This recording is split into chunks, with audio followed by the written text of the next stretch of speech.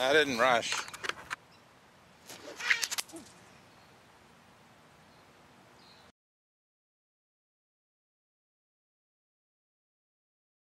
Jeremy Schrader doing off the ground, 125 grams and a T1000.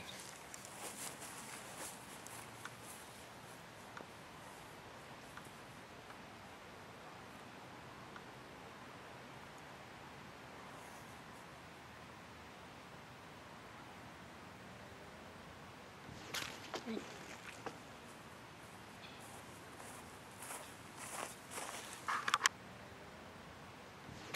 い。